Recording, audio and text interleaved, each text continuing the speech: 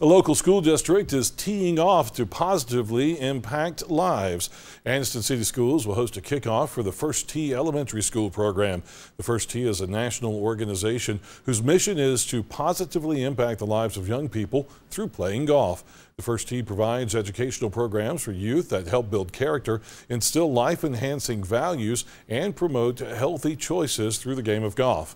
Anniston Parks and Recreation Director Stephen Folks says while being active is important, it's all about the children. I see some aspiring golfers, but most importantly, I saw some kids with smiles because there's another opportunity for them, and that's what we should be doing for our kids, just offering them any opportunity we can, let them know they can excel. Back in October, the Anniston Police Department hosted a golf tournament to raise funds for the implementation of this First Tee program. The department raised more than $3,700.